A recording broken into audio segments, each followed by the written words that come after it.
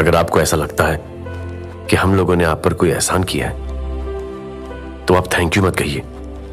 Instead तीन लोगों की मदद कीजिए आप।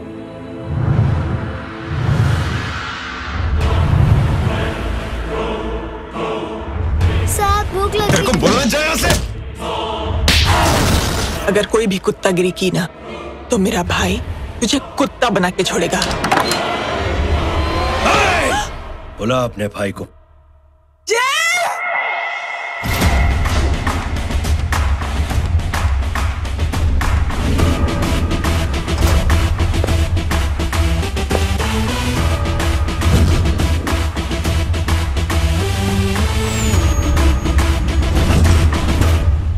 ऐसे लोगों की मौत उनका सर काटने से नहीं, बल्कि सर झुकाने से होती है।